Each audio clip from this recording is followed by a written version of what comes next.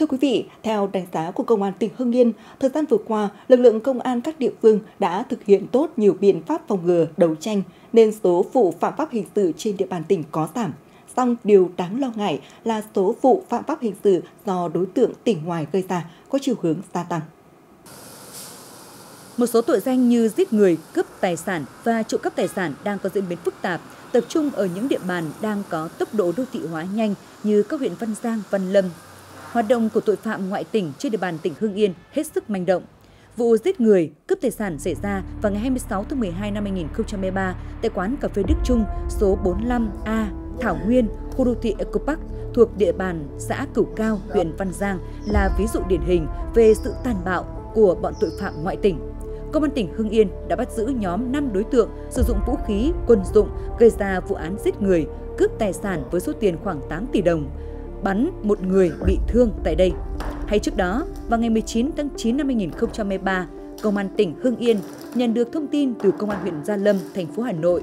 đề nghị hỗ trợ điều tra một vụ bắt cóc trẻ em, nạn nhân là một cháu bé 2 tuổi. Ngay sau khi nhận được thông tin, lực lượng công an đã tìm thấy thi thể của cháu bé tại thôn Đồng Quê, xã Mễ Sở, huyện Văn Giang. Trong năm 2023 thì ờ, trên địa bàn ờ, huyện Văn Giang xảy ra hai vụ trọng án thì hai vụ này thì bị hại và đối tượng gây án đều là người tỉnh ngoài. Sau khi ờ, nhận được ờ, tin báo thì chúng tôi đã phối hợp chặt chẽ với các đơn vị của Bộ Công an nhanh chóng làm rõ được.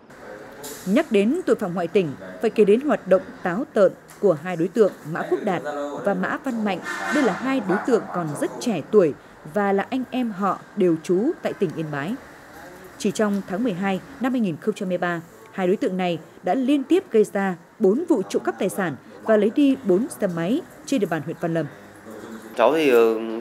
không ở đây, bọn cháu chỉ xuống đây lấy xe, xong bọn cháu đi lên Hà Nội. Cháu với Đạt là hai anh em họ, con chú con bác. Cháu cũng do cờ bạc,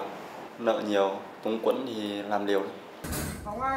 Trước những diễn biến phức tạp về hoạt động của tội phạm ngoại tỉnh trên địa bàn, thời gian qua, Công an tỉnh cũng đã đấu tranh kiên quyết xử lý các trường hợp là người dân tộc thiểu số, người từ các tỉnh miền núi phía Bắc vi phạm về trật tự xã hội và tệ nạn ma túy tại hai dự án khu đô thị Dream City và Đại An,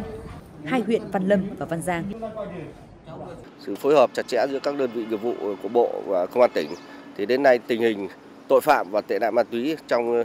Ờ, khu đô thị Đại An và Đà Đem City ở xã Nghĩa Trụ đã cơ bản được ổn định. Trong năm 2013, Công an tỉnh Hưng Yên đã khởi tố điều tra 929 vụ phạm pháp hình sự, trong đó nhiều vụ án đối tượng từ địa phương khác đến Hưng Yên gây án. Thời gian qua, Công an tỉnh Hưng Yên cũng đã ra lệnh truy nã 19 đối tượng ngoại tỉnh, phát hiện bắt giữ nhiều đối tượng truy nã tỉnh ngoài xâm nhập vào địa bàn.